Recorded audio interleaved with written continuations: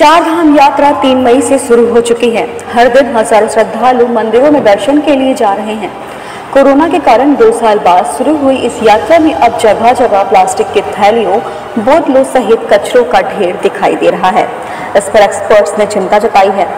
उनका कहना है कि यह सेंसिटिव इकोसिस्टम के लिए खतरा है। रिपोर्ट्स के अनुसार इस साल अब तक 8 लाख से अधिक तीर्थ यात्रियों ने उत्तराखंड की चार धाम यात्रा की है। यात्रियों के आने से राज्य का खजाना तो भर गया, लेकिन इससे कुछ साइड इफेक्ट्स भी हैं, जैसे कचरा, विशेष रूप से प्लास्टिक बैग और रैपर जो पर्यावरण के लिए खतरा है।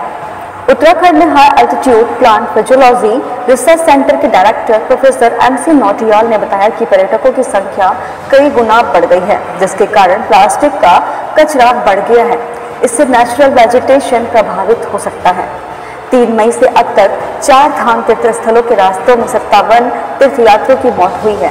इस पर उत्तराखंड के मुख्यमंत्री पुष्कर सिंह धामी ने भक्तों से अपने डॉक्टरों से परामर्श करने के बाद ही तीर्थ यात्रा शुरू करने की अपील की है। ब्यूरो रिपोर्ट, आई